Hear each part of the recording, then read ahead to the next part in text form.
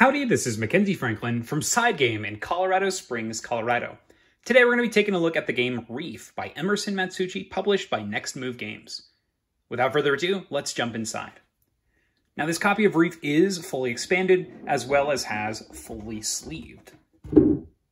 So first off, we've got the rulebook in here. The rulebook for the Little Fish expansion.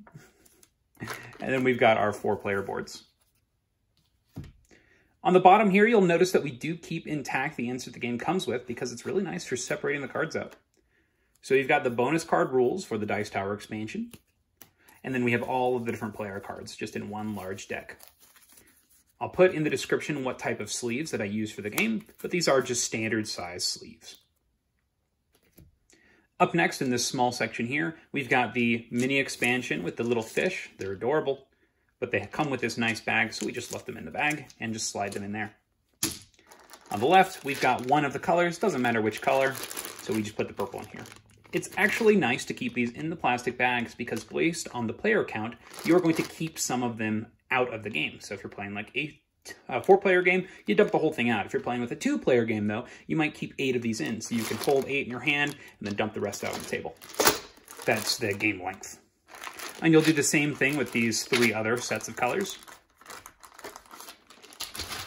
And lastly, you'll see that we have an organizer in here for all of the point tokens. So this is from the Dollar Tree. This is a dollar organizer. You could buy it for, guess what, one dollar. and it's very small, very flat, but it clearly displays all of the different point values and all the different denominations. It's very easy to just pull open the top and set it up, and you're ready to go. I really like these, and I think that if you can avoid putting in lots of tiny little chips in bags and having to reopen them and putting them back, I think you should definitely try to avoid that.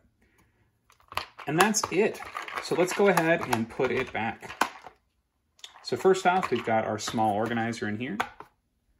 We'll put our three large containers, sorry, our large bags of coral. We've got our other coral in there. We can put our cards here on the right side.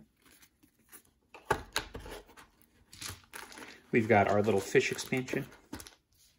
We've got our player boards, our baby expansion rulebook, and our reef rulebook.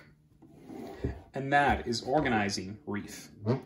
If you have any questions about what you saw here, please put them in the comments below. How do you organize your copy of Reef?